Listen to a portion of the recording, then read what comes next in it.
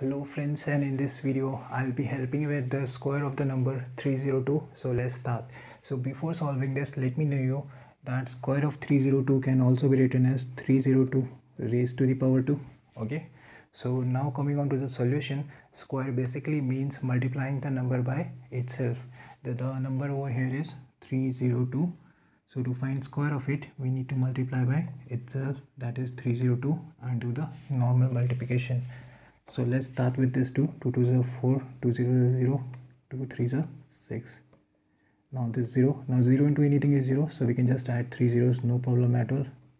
And this 3 3 2 0 6 3 0 0 and 3 3 0 9 just add everything 4 0 2 1 9 okay? So your answer will be 91204 that will be square for the number 302 so this is all. If you found the video helpful please hit the like button. Do consider subscribing and thanks for watching